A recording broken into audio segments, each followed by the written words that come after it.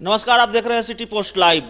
Paschim Bengal में मुख्यमंत्री ममता बनर्जी और सीबीआई के बीच का विवाद विवाद से जो राजनीति वहाँ की गरमाई है, उसकी गर्माहट अब बिहार में भी देखने को मिल रही है। बिहार की राजनीति भी उस मसले को गर्म है। आप जानते हैं ममता बनर्जी के खुल, ममता बनर्जी के समर्थन में खुलकर खड़े हो गए हैं। बिहार विधानसभा में नेता प्रतिपक्ष हैं, राजद के नेता हैं, तेजस्वी यादव, बिहार के पूर्व डिप्टी सीएम हैं और वो समर्थन इस कदर कर रहे हैं कि कलकत्ता भी चले गए हैं और ममता बनर्जी जहाँ धरना, जहाँ धरने पर बैठी हैं, वहाँ जाकर उन्होंने ममता बनर्जी का समर्थन किया है।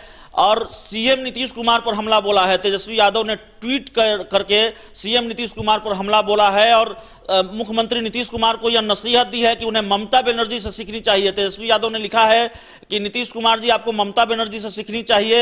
आप सृजन घोटाले में सीबीआई की कार्रवाई के डर से बीजेपी के साथ चले गए हैं लेकिन ममता बनर्जी से आप सीखिए और आपको उनसे सीखना चाहिए। तो तमाम तरह का तमाम तरह की बातें कही हैं। तेजस्वी यादव ने सीएम नीतीश कुमार पर हमला बोला है।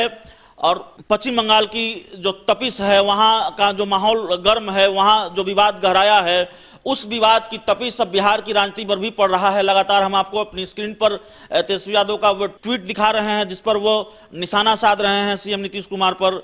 तो अगर आपको हमारी ये खबर अच्छी लगे तो इसे अपने दोस्तों के साथ शेयर करें, हमारे यूट्यूब चैनल को सब्सक्राइब करें, बेल आइकन ज़रूर दबा दें, ताकि हमारी खबरें सबसे पहले पहुँचे। प्यार, समर्थन और सहयोग के लिए बहुत बहुत धन्यवाद।